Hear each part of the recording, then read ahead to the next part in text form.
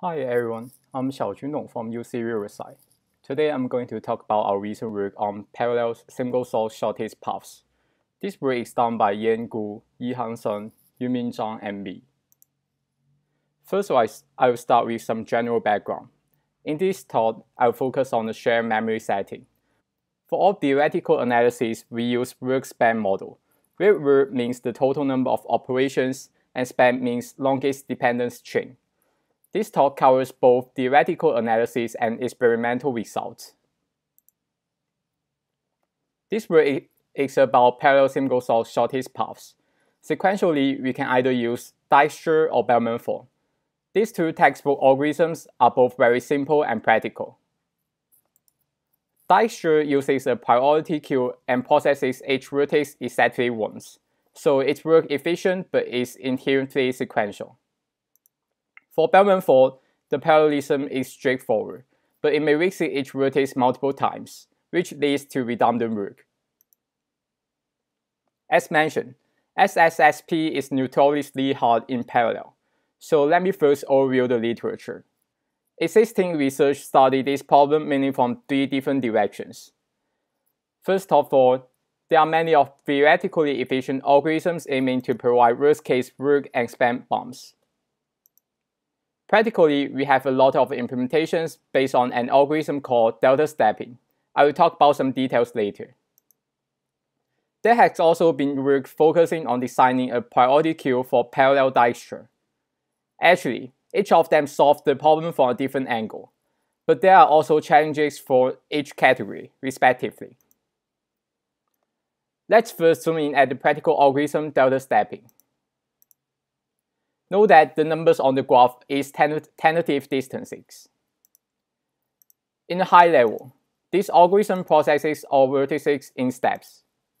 In every step, it tries to settle all vertices within a distance range of delta. In each range, we relax all vertices in parallel using Bellman-Ford until we don't have new distance settled. Then we move to the next one. So it processes all vertices with distance delta, 2 delta, 3 delta consecutively. This algorithm is like a hybrid of Dijkstra and Bellman-Ford. Across ranges, it uses Dijkstra style to reduce redundant work. Inside a range, it wants parallel Bellman-Ford at sub-steps, so we can support parallelism. In practice, delta stepping has pretty good performance, but there are still some additional challenges. In theory, there's no known good work and span bounds for delta stepping on general graphs. In practice, one of the questions is how to select the best parameter of delta. In fact, we tested four delta stepping algorithms, three state-of-the-art and one ours. We want delta stepping using different values of delta on four graphs. Here each figure is a graph, each curve is a graph implementation combination. We normalize them to the fastest running time of all delta. So the smallest value of each curve is always 1, marked with the red stars. We have several interesting findings. Let's first look at the same graph and compare the red stars for each curve.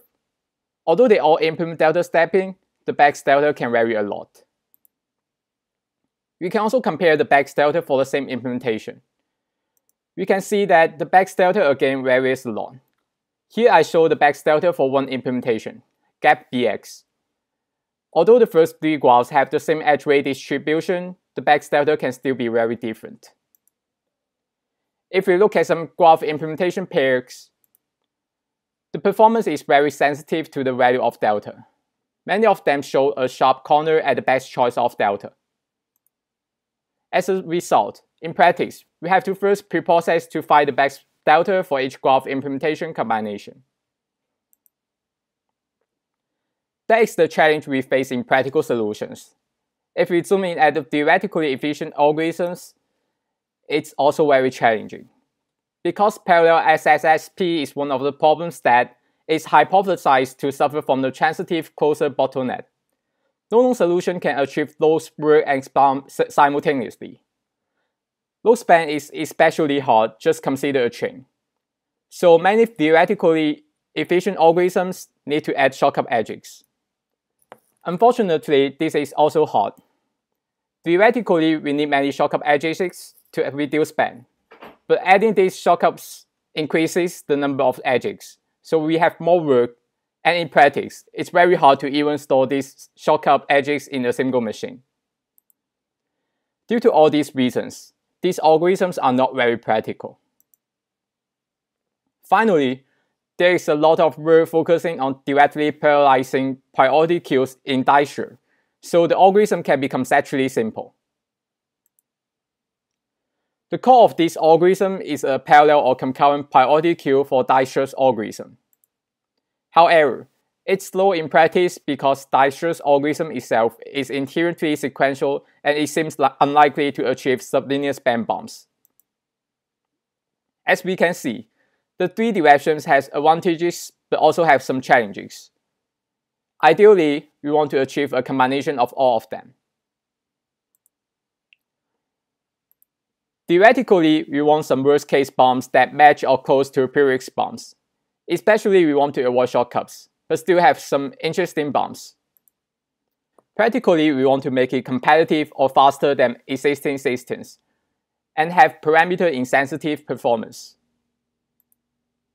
Also, we want to design a good abstraction for the priority queue such that it makes both the analysis and implementation simple.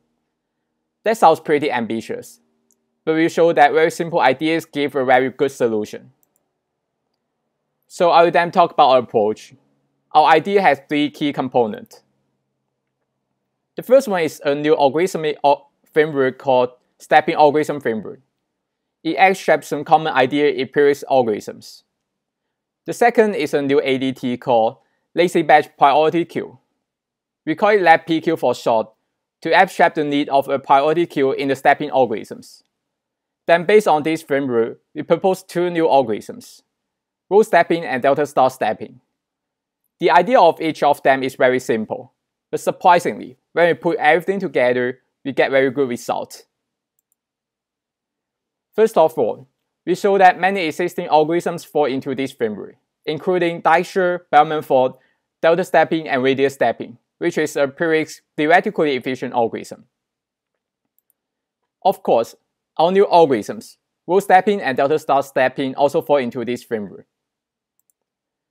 Then we show two data structures for lab PQ. One based on tree, the other based on arrays. Using tournament tree-based implementation, we achieve new bounds. Using array-based implementation, we achieve practical and efficient implementation, which outperforms existing systems. I first talk about stepping algorithm framework. We try to abstract some common ideas in these existing algorithms and call them stepping algorithms.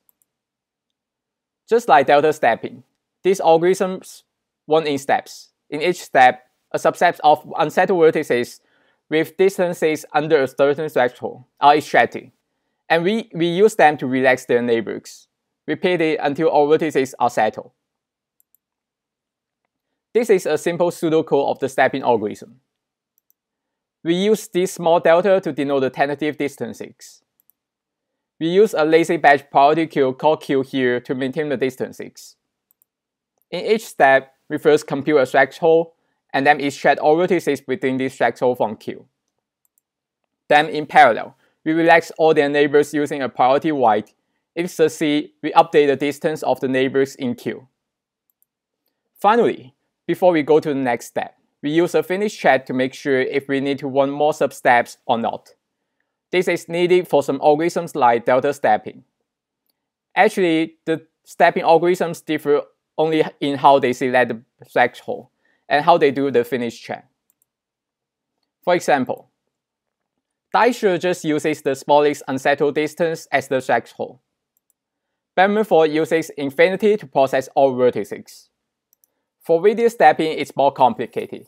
It changes the threshold dynamically based on the current status. Delta stepping uses a fixed value of i delta for step i, and continue the substep until all unsettled vertices in the range are settled and we have two new algorithms. Delta star stepping is our new variant of delta stepping. By removing the finish check, we can avoid substeps and make it efficient both in theory and practice. Rho stepping simply uses the rho closest distance, so the idea is pretty simple. Our two new algorithms achieve both new theoretically bounds and efficient implementations. If we look at the algorithm framework, the only missing part is how to implement the lazy batch priority queue and these two functions. Let's move on to our ADT and data structure. Our data structure, the lazy batch priority queue, is inspired by some recent work about batch dynamic data structures. Intuitively, batch dynamic data structure means that the data structure accepts batches of modifications or queries in parallel. What we need in the stepping algorithm framework seems to be two operations. The first one is to update a key, either insert or update if it's already in the data structure. The other is to extract all vertices with keys below a certain threshold, output and delete them. Which are these two functions here? The function update, which is executed asynchronously, means to commit an update to the data structure. Extract means to report all elements smaller than a threshold and delete them. An important observation is that this update doesn't need to be executed immediately.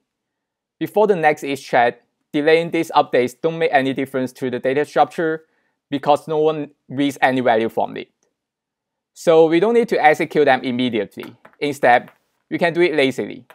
We can use this update just to mark the vertices as modified. A later extract function before it actually extracts anything is responsible for applying all previous changes as a batch update. Importantly, our setting is also slightly different from the previous batch dynamic data structures because of the laziness.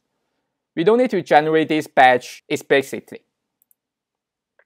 For time limit, I will just show our tournament tree-based abstraction. Using arrays is actually straightforward. A tree is an implementation of priority queue. It's a complete binary tree with all data stored in the external nodes or leaves. Each internal node records the smaller values of the, its two children, so it looks like a tournament. To update a key, we directly update it in the leaf and try to mark all its ancestors in the tree because they might be updated. If there are multiple marked leaves, the paths will overlap. We use a bit for each internal node to indicate if anything in its subtree is modified. All the concurrent update operations try to set this bit using the atomic operation test and set. Only when a thread successfully test and set the bit of its parent, it goes up to update the next ancestor. Otherwise, it means that someone else has set this bit from here all the way up to the root, and this flag can stop. It prevents any node to be visited by more than once. Later, we can apply the entire batch of modifications from the root in using a divide and conquer algorithm. We can skip a subtree if it's not marked. Otherwise, we deal with two subtrees in parallel. Set the new value and remove the mark. To extract everything smaller than a threshold, we also use the keys in the internal nodes. We skip the subtree with key larger than the threshold. Otherwise, we deal with the two subtrees in parallel. In this case, we can guarantee that if we have B leaves involved in a batch, in total, we only need to visit big O B log n over B tree nodes. H is visited a constant number of times. That simple data structure helps us achieve many new bounds in this paper. However, as mentioned, it looks hard to achieve sublinear span bound for general graphs if we don't want to use shortcuts. But we know that tighter bounds may be expected based on some graph invariants. For example, we know that the span bound for Bellman Ford is tilde O of n, but a more precise way to say it is tilde O of d, where d is the shortest path tree depth. Our idea is to use the k-rho graph proposed in the radius stepping paper. A graph is a k-rho graph if each vertex can reach its closest vertices in k hops. It generally states how much progress we can make by looking at k steps. For example, if we have a graph like this, assume each edge is a unit weight, then this graph is one 3 graph, because each vertex can reach the three closest vertices in one hop. However, if we want to reach four closest vertices. Some of them may need to go out two hops, so it is a 2-4 graph. Actually, it's also a 2-6 graph, because by going out two hops, everyone reach 6 closest vertices, but not 7. For fixed rho, we use k rho as the smallest k that makes this graph a k rho graph. So for this graph, k3 is 1, k4 is 2, k6 is also 2. Also, we can see that kn is just the shortest path tree depth. Then the question is, what is the k-rho properties of real graphs? We tested on 7 real graphs. We found that for scale-free social and web networks, the growth of k-rho is extremely slow. You can assume it is order of log n even for large rho. For road networks, then k-rho goes fast and the shortest path tree is steep. So it is too pessimistic to always assume the worst case that the input graph is a chain, since the real graph is not always the worst, and graphs with different k-rho properties should have different behavior in the stepping algorithms. By using the concept of k-rho graph, we can show a variety of improved bounds marked in the red boxes. I would like to mention, due to the similarities of the stepping algorithms, the analysis of all these algorithms are pretty similar. They share the same lemmas.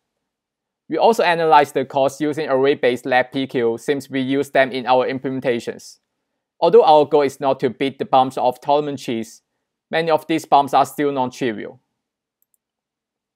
If we compare our rho stepping with radius stepping, one of the existing theoretically efficient algorithms, the span bound on the unrated graph is improved, and the work is slightly worse, but it applies to derivative graphs.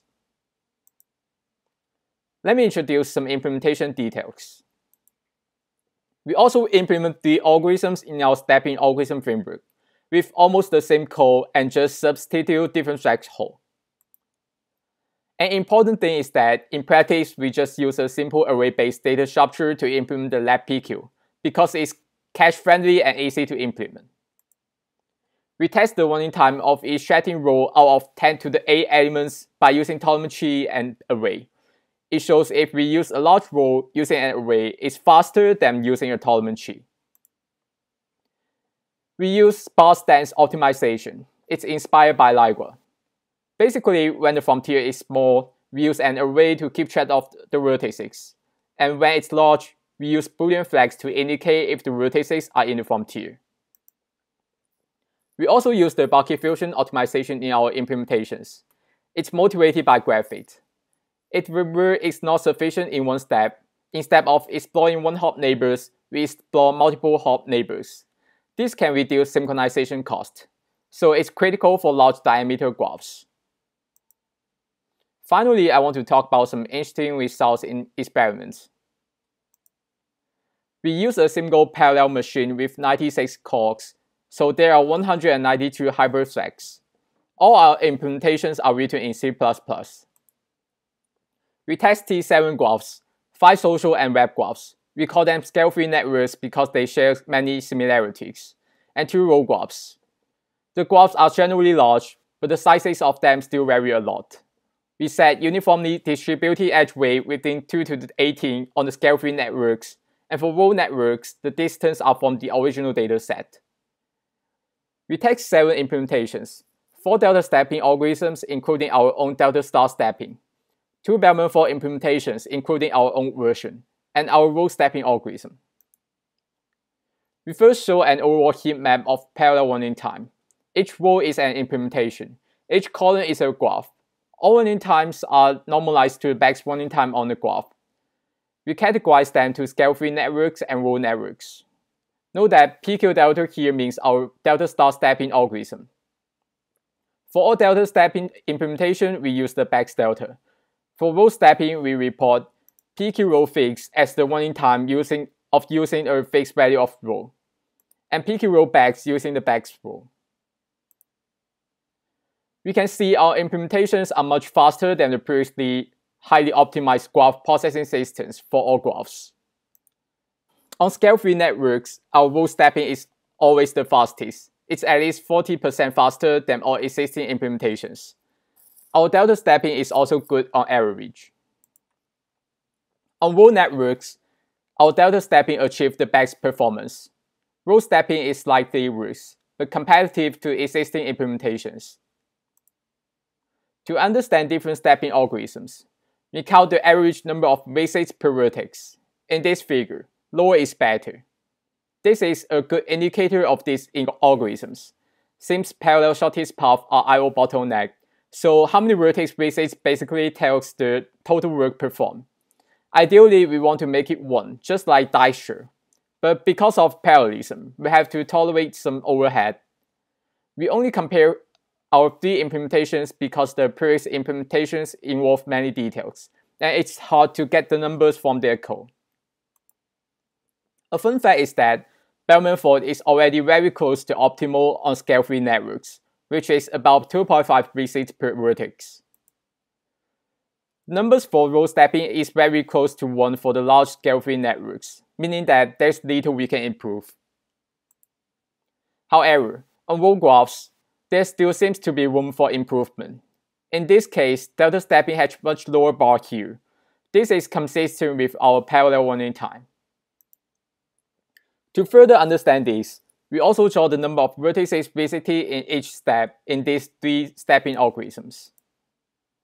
We can clearly see that on scale-free networks, rho stepping visits a very stable number of vertices, so it distributes work more evenly to each step than the other two algorithms.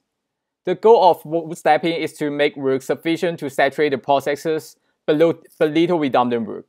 In this case, controlling the exact number of vertices in each step is a good way to achieve word parallelism trade-off.